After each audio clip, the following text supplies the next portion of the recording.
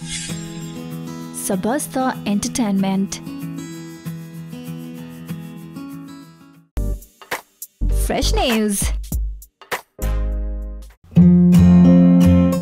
Oh yeah, I have a good news to share and that is Anjali Lama is Model of the Year in Grazia Millennial Awards 2019. हजुर प्राप्त जानकारीका अनुसार हालै सम्पन्न भएको Grazia millennial awards two thousand नाइन्टिनमा Nepali model Anjali Lama बनेकी छिन् model of the year. उक्त अवार्ड सोमा rising star of the year बनिन् Janhvi Kapoor.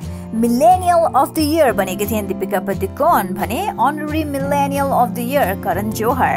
And yes our own Nepali model has become Model of the Year, Anjali Lama. And so yes, our own Anjali Lama became model of the year. Award पाएकोमा निकै खुसी हुँदै इन्स्टाग्राममा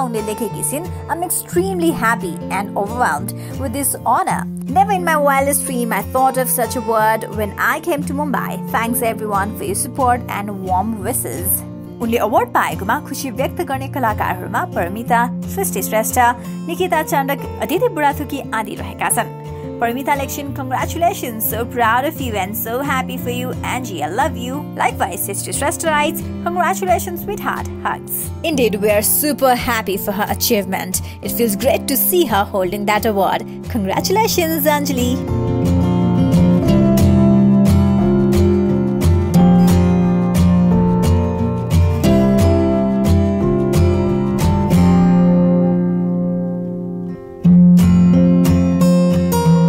Thank you for watching. Don't forget to like and subscribe. Please press the bell icon